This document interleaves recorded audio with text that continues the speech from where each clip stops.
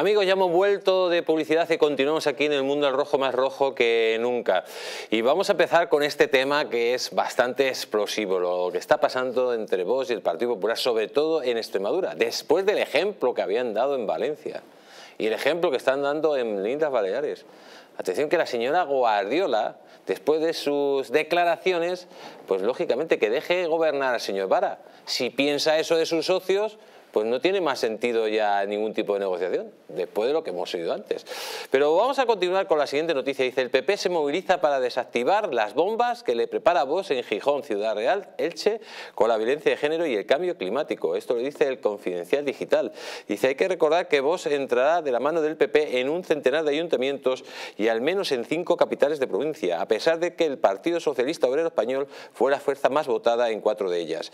En el nivel autonómico, aún por concluir, el rápido acuerdo para gobernar la Comunidad Valenciana incluye derogar normas sobre asuntos históricos y sobre la promoción del valenciano y aprobar una ley de señas de identidad, ignorar la crisis climática y desnaturalizar la violencia sobre las mujeres al denominar la violencia intrafamiliar. Un diputado regional de Vox llegó a afirmar que la violencia machista no existe. Dice, de hecho, según ha podido saber el Confidencial Digital, por fuentes próximas a la Dirección Nacional de PP, dirigentes del partido admiten máxima preocupación en privado por los acuerdos que están negociando estos días en algunos grandes ayuntamientos. Hablan de bombas que les preparan los de Abascal que van más allá de la polémica desatada en la comunidad valenciana con la violencia de género. Ven con inquietud que vos comience a plantear en los acuerdos municipales y autonómicos por toda España la revisión e incluso la derogación de las políticas de igualdad y obvia la crisis climática con propuestas como la eliminación del carril bici, la reducción de la zona de bajas emisiones, etc. Pues para hablar de este tema tenemos al otro lado de Sky a don Alex Navajas. Don Alex, buenas noches, ¿cómo está usted? Tal como estáis, buenas noches, estupendamente. Bueno, esta noticia que habla de las bombas que tiene que desactivar el Partido Popular, yo creo que el Partido Popular cuando se, apoya en vos sabe perfectamente que es un partido que está en contra de la ideología de género, que está en contra de que se utilice la terminología marxista a la hora de denominar la violencia de los hombres eh, dentro del, hogar hacia las mujeres y que la primera batalla que hay que vencer es la, batalla cultural, en el sentido de que no tenemos que hablar con el mismo lenguaje que utilizaban, por ejemplo, eh, pues, eh, Podemos o los comunistas hace 10 años, que era un lenguaje que nadie admitía y ahora se está dando por bueno, ¿no? Bueno, y ante esto lo que pasa es que ocurre el mayor miedo del Partido Popular, que es que se tiene que definir. Y claro, aquí salen absolutamente todos sus miedos y todos sus complejos. ¿no?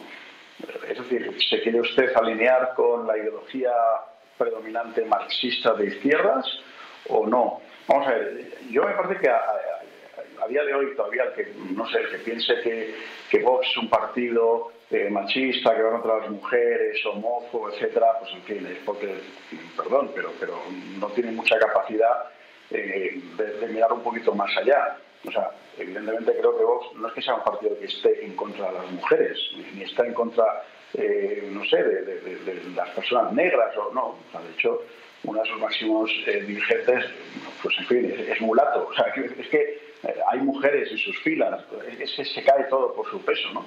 Entonces, Vamos a ver, si hay alguien en este país que ha hecho un daño real a las mujeres, es la izquierda, con los cerca de 1.100 presos que han sido ya beneficiados por las leyes de Irene Montero.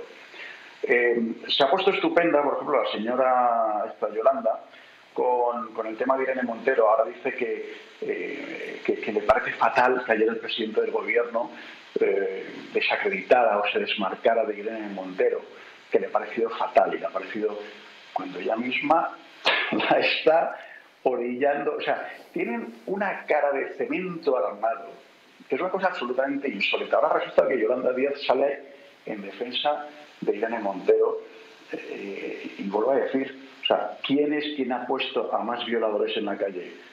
¿El PSOE con sus socios o, Vox y el Partido Popular? Entonces ya está bien y que el Partido Popular no tenga tanto miedo de ir desactivando las bombas que ha puesto la izquierda. No es que las ponga Vox, las ha puesto la izquierda. Entonces vamos a ver, eh, eh, el término violencia de género, que ellos defienden tanto, Es un concepto igual que en su momento fue la, lucha de clases o la dictadura del proletariado. Entonces, claro que lo negamos. Yo personalmente lo niego. o sea, me parece que cualquier persona sensata está en contra de la violencia. No de la violencia del hombre contra la mujer, sino de la violencia cualquiera. Y evidentemente hay que castigar a la persona que cometa violencia, sea hombre o sea mujer, sea anciano, sea niño. Es una cosa como bastante de sentido común. Nadie está diciendo que, que, no haya violencia. Lo que se está diciendo es que lo que no se puede hacer es ideologizar la violencia. Eso, en fin, me parece que cualquier persona con un poco de sentido común lo apoyará. Pues efectivamente, don, don Alex. Eh, ¿Y cree que usted que va a pasar al final en Extremadura? ¿Van a llegar a algún tipo de acuerdo después de las barbaridades que ha dicho la candidata del Partido Popular? Bueno, es que quien siembra vientos pues echa tempestades. O sea, esta señora ya lleva varios meses, no la conocíamos casi nadie en el resto de España, salvo en Extremadura. Eh, bueno, pues ella se ha mostrado absolutamente partidaria de todas las, eh, toda la ideología progre, ¿no? El aborto, la eutanasia, eh, el adoctrinamiento LGTBI, que es muy distinto el, adoctrinamiento LGTBI del respeto que evidentemente merecen las personas homosexuales. No por ser homosexuales, sino por ser personas. Cualquier persona merece un respeto, sea homosexual, sea heterosexual, sea hombre, sea mujer. Entonces, esta señora Guardiola está totalmente posicionada con la izquierda y además ha estado eh, repitiendo los mantras de la izquierda sobre Vox. Niega el cambio climático, niega eh, la ideología de género, niega la violencia. vamos a ver que no, que no repita eh, las tonterías que dice la gente de izquierda, o sea, muestre un poco más de inteligencia. Y además es que ha dicho claramente, yo no voy a negociar con quien tira la bandera arcoíris a la basura y con quienes niegan la violencia de género, etcétera, etcétera. Bueno, pues entonces usted se está posicionando del lado del Partido Socialista. Entonces tampoco se extrañe de que Vox no quiera, eh, no quiera pactar con usted, porque es que ya sabemos lo que va a hacer usted. Va a hacer más de lo mismo, va a seguir con las, eh, ideologías y las políticas del Partido Socialista. Y los extremeños lo que quieren es cambio, porque solo han dicho en las urnas, votándola a usted y a Vox. Pues apliques el cuento. Don Ale Navaja, muchísimas gracias por haber estado aquí en el Mundo al Rojo. Reciba, como siempre, un gran abrazo. Igualmente, buenas noches a todos. Y amigos, la verdad que vamos a ponerles en antecedentes. Le hemos puesto al principio del programa las barbaridades que ha hecho esta señora sobre su posible socio. Vamos, la ha puesto prácticamente como si fuera el Partido Nacional Socialista del año 33. Entonces, mucha gente se pregunta si, si son eso, ¿por qué le has ofrecido directamente la presidencia de la Asamblea? ¿Y cómo dejas en el resto de tus compañeros que han pactado con ellos en otras regiones de España? Pero vamos a escucharla porque es que es digno de, escuchar las palabras que ha metido la pata, no hasta el fondo, sino hasta lo siguiente. La verdad que Guardiola pues ha hecho honor a su apellido. Una cosa es negociar y una cosa es escuchar y otra muy distinta es mercadear con la ilusión de Extremadura. 28 diputados obtuvo el Partido Popular en las pasadas elecciones autonómicas, un 38,85% del voto. Yo no puedo dejar entrar en gobierno a aquellos que niegan la violencia machista, a quienes usan el trazo gordo, a quienes están deshumanizando a los inmigrantes y a quienes despliegan una lona y tiran a una papelera la bandera LGTBI. Pues lo ha dicho ella, no quiere un gobierno con prácticamente con eh, el Partido Nacional Socialista que regía Alemania en el año 33. Pero, señor eh, Juan Jara, yo creo que su expartido no tiene nada que ver con las aberraciones que dice esta mujer. Y si tiene algo que ver, pues directamente que diga, que, vot, que gane, que gobierne el señor Vara, no, iba a decir el señor Vera. el señor Vera yo le votaría. ¿eh? que gobierne el señor Vara y se acabó la negociación, porque si lo tiene tan claro no hay nada que negociar. Realmente es un poco eh, ininteligible lo de la señora Guardiola en el día de hoy. No tiene explicación. Y como me dijo un buen amigo hace muchos años, Juan piensa que lo que no tiene explicación es el 5% o el 10% de comisión. Es decir, que hay intereses puros de promedio. Esto puede obedecer a, una, eh, a un dinamitar ¿eh? la renovación necesaria, imprescindible que tiene que producirse en el, Gobierno de España el 24 de julio, por hacerle pues, en fin, eh, la, cama gorda al señor Feijóo, eh, Núñez Feijóo en, el culo de, de usted que esto es una tradición de la señora Guardiola, señor Feijóo, porque le está poniendo contra la espalda de la pared? Totalmente. Pero yo creo que es una tradición a España, no solo a Extremadura. Extremadura necesita un cambio, ¿eh? necesita trenes ¿Eh? Necesita trenes Extremadura. Necesitamos que Extremadura se incorpore al ritmo del resto de España, pero es que lo tenemos a la, la infraestructura en el sur de España, en mi Sevilla natal. ¿Cuándo vamos a cerrar la S30? ¿Cuándo vamos a empezar a, hacer más de dos kilómetros? ¿Eh? De la S40, claro. Pero es que esto que en Sevilla es notorio, Sevilla ha perdido la posición frente a Zaragoza por la mala cabeza de la Junta de Andalucía, tantos años mal gestionada. Pero la Diputación Provincial, etcétera, etcétera. Es que hay un déficit de gestión. No se puede permitir el lujo el Partido Popular de Extremadura de no ser el gobierno dentro de 10, 15 días cuando, cuando diga el Estatuto de Autonomía. Entonces, lógicamente, a mí me parece que tener que poner a la violencia ¿eh? de un ser humano contra otro apellidos me parece fatal. ¿eh? Me parece muy mal, porque violencia es violencia.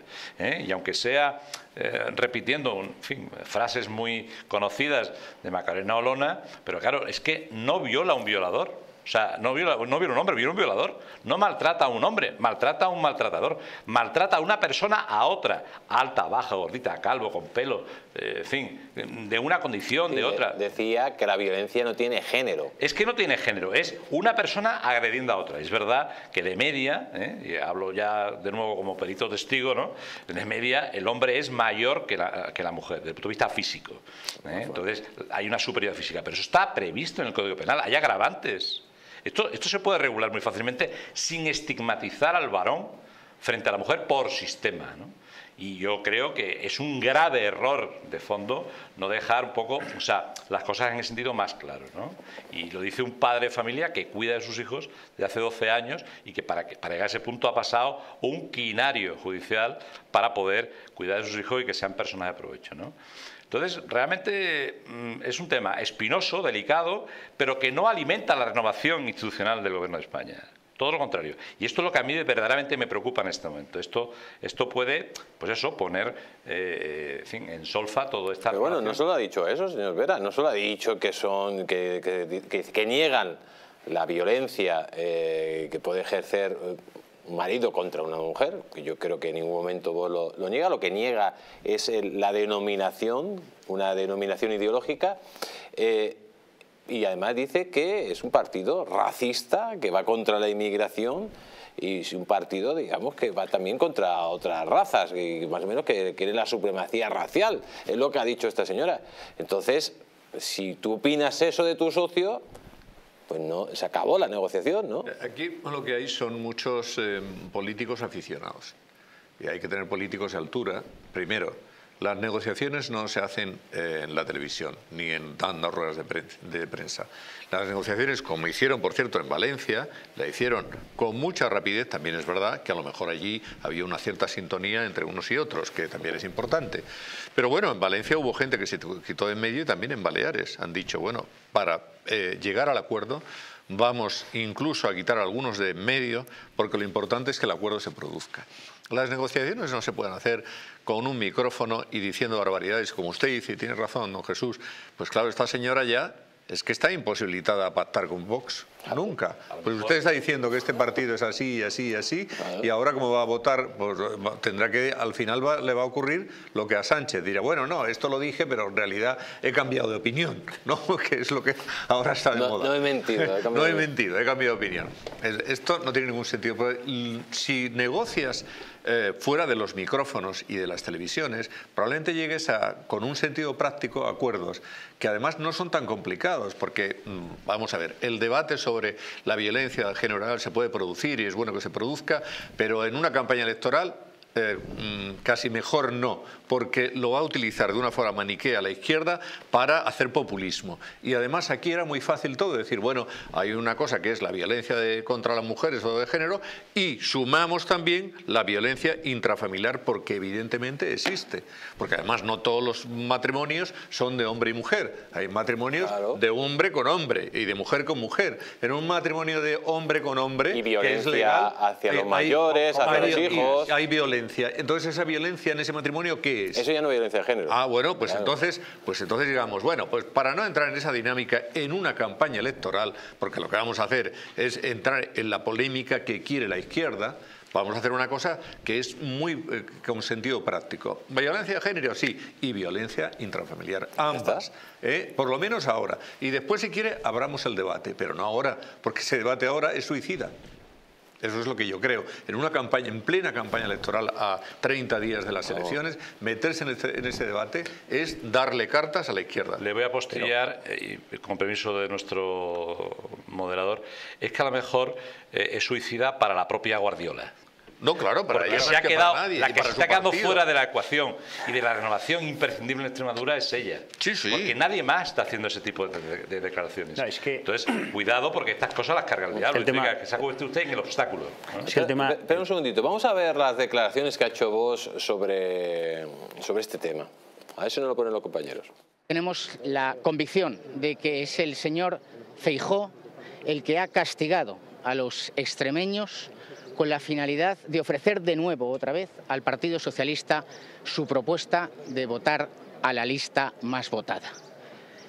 Y lamentamos que la señora Guardiola haya decidido someterse al dictado de Génova y a los criterios políticos que pretende el señor Feijóo, repito, para volver a ofrecer al Partido Socialista su oferta de la lista más votada. Dicho esto, con esto concluyo, por su pues ahí tenemos, el señor Busadé no sabe ni de, dónde está parado, porque verdaderamente desde Génova no ha habido ninguna orden para que no lleguen a un acuerdo, todo lo contrario, señor eh, Trejo, eh, desde Génova están dispuestos a que haya los cambios, ha sido algo interno directamente de, Extremadura y de esta señora. Totalmente, totalmente de acuerdo en eso, ¿no? Pero eh, de las declaraciones de Buxadé, si se hubiera quedado en la primera parte con la mano tendida, suficiente. Y hubiera quedado como un caballero. Ahora, cuando empieza a divagar y a decir que si ha sido Feijo, oye, Buxadé, el Feijo acaba de cerrar, o el Partido Popular acaba de cerrar unos acuerdos hoy en las Islas Baleares, por ejemplo, y no ha dicho absolutamente nada. Es decir, la mesa de. 140 municipios. Claro, la mesa de, de las Cortes Baleares va para Vox y ahora, bueno, pues negociarán. El tema de María Guardiola, hombre, esto es como aquello que dice que, quien duerme con niños amanece húmedo, ¿no? Aquí es la, falta de, políticos de alcance. A mí me consta, y conozco un poquito eso, que el Partido Popular en Extremadura tiene mejores, mejores hombres y mujeres, o mujeres y hombres, que la señora Guardiola. Yo, de hecho, ni la conocía hasta hace tres o cuatro, tres o cuatro meses. Y, yo, soy, extremeño. Esta de los, de los eh, paniaguaos que se han introducido para controlar Bueno, eh, según quien te diga, te dicen que ya venía con algún carguillo en el gobierno de José Antonio, ¿no? de José Antonio Monago. Eh, pero bueno, a mí, no, a mí sinceramente no me suena. Pero lo que hemos visto hoy es como, como esta señora le, le ha dinamitado la campaña electoral a Núñez Feijó. Y, y a mí me da la sensación que es algo que tenía, que tenía premeditado, porque claro, la estamos viendo en los últimos días que va a tonta y a loca y unos, dice, unos días dice no, no negocio con vos, otro día dice las negociaciones van bien, eh, vamos a, votar, a ir con ellos y hoy le dice que no quiere su voto. Oiga señora, si se los está pidiendo usted, no se los está pidiendo nadie. Vamos a ver si la declaración que ha hecho hoy estaba prácticamente leída, si iba coma por coma, punto por punto. Esta señora ha dinamitado la campaña. Es que le ha llamado machistas, eh, que no respetan a la inmigración a sus propios compañeros de partido. ¿Qué va a pensar el bueno, el bueno de, de, Fernández Mañueco? ¿Eh? ¿Qué tiene Fernández Mañueco de maltratador, de machista? ¿Qué va a pensar Mazón o Azcón o el, o el de o el de Islas o la de Islas Baleares, pero ¿qué van a pensar esas señoras si le han hecho la campaña al Partido Socialista y más hoy, después de las gravísimas declaraciones de la, de la vicepresidenta eh, Yolanda Díaz, en la que ha acusado directamente, pero sin ambaje alguno, a, a Núñez Feijóo de decir que todo aquel que se divorcie, el divorcio es duro, se puede permitir el lujo de maltratar a las mujeres cuando realmente eh, Núñez Feijóo no dijo eso en la entrevista que concedió ayer en la noche eh, eh, en la cadena amiga del Partido Socialista, ¿no? Entonces, yo creo que es un flaco favor. Se estaba refiriendo a Jesús Eguiguren, que fue condenado eh, por maltratar a su esposa y era presidente del Partido Socialista en, el País Vasco. O el ministro, de, el ministro de Justicia, Fernández Aguilar, por ejemplo, y no hablan, no hablan de esto. Es, es, es que aquí, ¿qué pasa? Que la violencia intrafamiliar, la violencia contra la mujer, o si utilizamos el término sajón o francés que empezó a utilizar Zapatero, llamando a la violencia de género, eh, solamente se da en la derecha, en el centro derecha, aquí acaba, el señor Vera acaba de citar dos ilustres socialistas. ¿Estos qué pasas? No, Pero es que ustedes saben, amigos, quién es María Guardiola, la candidata del PP que lanza un órgano a vos. A ver si nos ponen la noticia. Aplaude, atención, María Guardiola, la candidata del PP que lanza un órgano a vos. Aplaude el Ministerio de Igualdad y escucha a Rosalía. Voy a dejarles algunas perlas de esta tipa que dice que el pasado mes de marzo, durante una entrevista en televisión española, la mujer que hoy tiene en sus manos el futuro de Extremadura fue preguntada precisamente por sus diferencias con vos. En 45 segundos las sintetizó todas. Una de ellas, la violencia machista, arrancó su respuesta. A las cosas hay que llamarlas por su nombre. Y existe aquí, y desgraciadamente entre otros lugares de España. Es una lacra contra la que tenemos que luchar. Tampoco quiso pasar por alto su defensa del colectivo LGTBI. Mi gobierno será un gobierno respetuoso, que no cuestiona a quién se ama y cómo se ama ni del aborto. En derechos conseguidos por las mujeres no se va a retroceder ni un milímetro. La política no está para irrumpir en la vida de las mujeres, sino para lo contrario, acompañarlas y protegerlas. Y tampoco se olvidó de la inmigración. No podemos criminalizar a la inmigración en un país y en una región que no seríamos de lo que somos gracias a ella. Pues yo creo que la señora Guardiola tenía que haber repetido esto constantemente a ver si la gente del Partido Popular que la ha votado la hubiera votado, porque es que el mensaje de la señora Guardiola y el de Irene Montero es prácticamente el mismo. Es el mismo mensaje de ataque y de mentira para distorsionar la realidad sobre otro partido que es con el único que puede negociar. No, y sobre todo además la sensación que da es que mm, unos días mm, transmite una cosa y después otra que no es exactamente la misma, porque cuando había un planteamiento de, de que no, bueno, había que mm, tensar mucho la cuerda para no pactar así con facilidad con Vox, ella era la que empezó a decir que ella iba a hacer un acercamiento a vos, que eso sorprendió a todo el mundo. O sea, ella cuando todos en su partido estaban en el sentido contrario, en decir, caramba, no, vamos a mantener los espacios bien diferenciados para que no se produzca un acercamiento, ella era la que estaba diciendo que no, no, no, hay que acercarse a vos. Bueno, y ahora resulta que es todo lo contrario. Esto es lo peor que le puede pasar a un político. Que digas una cosa hoy y después lo contrario. Y luego que lo digas además constantemente en público contradiciéndote a ti misma. ¿no? En fin, es verdad que, el PP ahora en Extremadura con esta señora mm, parece que tiene un yo Creo, yo creo, fíjate, tomando, tomando el pie de lo que tú comentabas, yo creo que, estas declaraciones de hoy eh, la inhabilitan para para encabezar una negociación con Vox y la abocan directamente, pero directamente a una dimisión del cargo, ¿no? Porque el partido, el Partido Popular en estos momentos no se puede permitir, no se puede permitir. No va a dimitir. Eh, pues, pues eh, tendrá que irse al grupo mixto y entonces gobernará Fernández Vara. Y eso es lo que realmente va a pasar. Se tendrá que ir al grupo mixto porque el Partido Popular de Extremadura está abierto prácticamente en canal por este tipo de decisiones. Entonces, claro, eh, no se lo va a dejar de ahí. Y aquí viene esta señora. Lo primero que se tiene que dar cuenta es que ha perdido las elecciones. Eso para empezar. Lo segundo que se tiene que dar cuenta es que en España se gobierna por mayoría representativa y eso está recogido en la Constitución. Que el tema de las listas más votadas no, no está recogido en la Constitución, con lo cual es anticonstitucional o al menos no constitucional.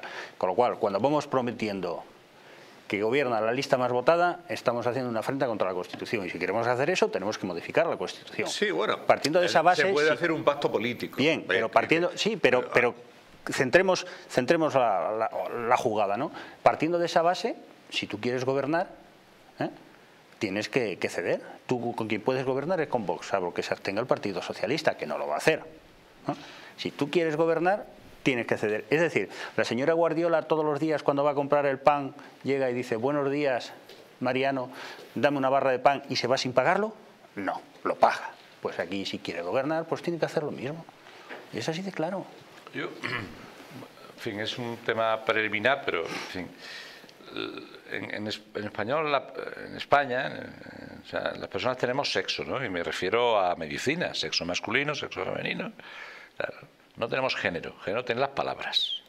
Luego esa terminología, aparte de totalmente anglófila, es inadecuada para el uso de lo que se quisiera expresar, incluso en términos marxistas, ¿no? Entonces, a partir de ahí, pues, lógicamente es mercancía averiada conceptual y semánticamente.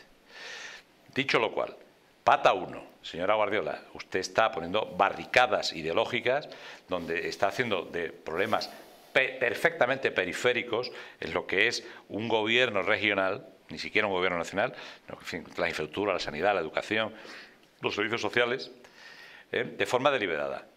Pata 2, el señor Buxade coge ¿eh? y en vez de intentar sedar la situación, establecer puentes o por lo menos quedar como que los tiende, coge y le echa, dos, camiones de queroseno y escala la crisis ¿eh? de bambú a Génova. Oiga, usted señor, señor Usade, no será tonto hasta almorzar porque usted no quiere desactivar la crisis, usted la está alimentando, la está escalando, pero bueno, pero entonces ya se ve, ya se ve ¿eh? que hay gente que debería dedicarse a la abogacía del Estado, como el señor Busade, o a lo que se dedique la señora Guardiola en sus ratos libres antes de ser política. Porque es que realmente no hay el menor sentido de lo que le importa a la gente de Extremadura. Y además, olvidando una cosa que, que hay que tenerle muy presente.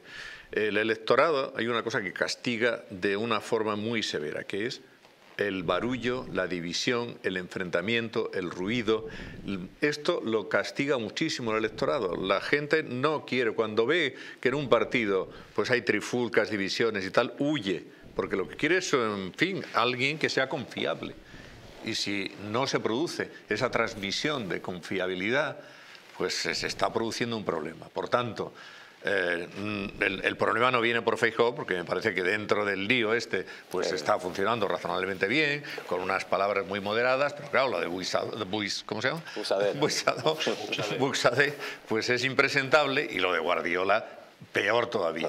O no sabemos cuál de los dos es más impresentable. Pero lo cierto y verdad. Están compitiendo, en estulticia, ¿eh? anti, anti-española, porque al final quien pierde es el extremeño, que, que no ha, ha tenido cuatro años de José Antonio Monago, mi amigo José Antonio, en fin, y, y, y ya está. Y todo lo demás es, pues eso, el Bellotari y luego Fernández Vara. Sí, claro, pero, fíjate tú cómo vino la, mayoría del Partido Popular de José Antonio Monago. Vino de, la mano de Izquierda Unida, con quien el Partido Popular se suele entender bastante bien en Extremadura. Yo conozco alcaldías de, de, poblaciones grandes que, han estado así, ¿no? Pero sinceramente aquellos cuatro años fueron como, como una balsa en el desierto.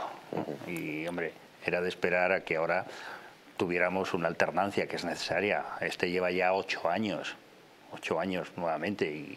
Y, Fernández Vara, todos sabemos que es el heredero de, Rodríguez Ibarra y que la política que hace prácticamente es un poco de Rodríguez Ibarra más un poco de rodillas ante Sánchez. Pues amigos, la verdad que mm, el debate está claro. Eh, no se puede coger y para apagar un incendio echar gasolina. Pero es cierto que la señora Guardiola tendría que ser detenida por pirómana directamente porque no es ni medio normal las cosas que ha dicho. Y luego el señor Busadet, pues evidentemente se podía haber quedado en Madrid tranquilo, fumándose un puro y comiéndose un chuletón, en vez de ir allí y decir pues las tonterías que ha dicho. Vamos a conectar con Ainhoa Martínez para que nos diga la opinión que nos dan nuestros oyentes sobre este tema. Hemos recibido muchos mensajes como este de Sofía que dice ya estoy cansada de que Vox siempre sea la piedra en el camino del PP. Guillermo nos dice, la ley de igualdad, la de violencia de género y todo lo relacionado con la violencia de género son excusas para la alcahuetería de muchos políticos que viven de ello. Patricia nos dice, por políticos tan ineptos como la señora Guardiola, nos fuimos muchísimos del PP, de toda la vida a Vox. Esa política del PP no les lleva a ninguna parte. Y por último, Carlos lanza una pregunta al señor Jara. Los partidos políticos y los políticos nacen como las amapolas en primavera. ¿Verdad, señor Jara? ¿Qué opinan de esto y que nos cuentan nuestros espectadores?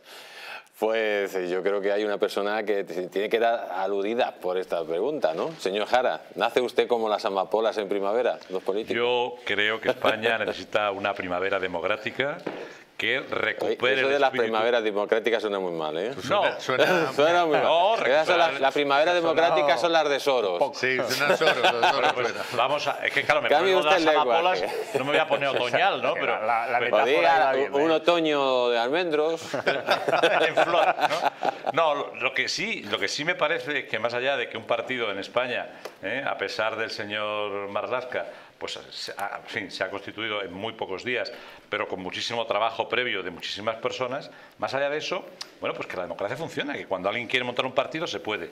Concursa, hay gente que nos avala, y nos avala muchos miles de españoles, y a partir de ahí, después el pueblo hablará, punto. O sea, criticar que haya nuevos partidos, pues entonces, en el 2014, ¿qué pasó? Pues yo estuve allí también. También nació usted como las amapolas. claro, eh, en este caso, más bien como un higo No para. Cada vez que eh, llega por el color. ¿eh? Cada vez que llega la primavera nace, renace usted. No, no es verdad, no es verdad. Yo, yo soy el mismo desde hace 30 años desde el punto de vista intelectual e ideológico y ahora es verdad que tengo un liderazgo diferente, pero yo creo que es un liderazgo sólido desde el punto de vista intelectual y moral, que es lo que más me preocupa en mi política. Nos tenemos que ir ya. Señor Trejo, muchísimas gracias. Y a vosotros. Señor Vera, muchísimas gracias. Muy buenas Y a noches. usted le veremos en primavera. Amigos, muchísimas gracias a todos, a todos ustedes, a todos ustedes por estar aquí en el Mundo al Rojo. Recuerden, sean buenos, que Dios les bendiga y que Dios bendiga a la Madre Patria.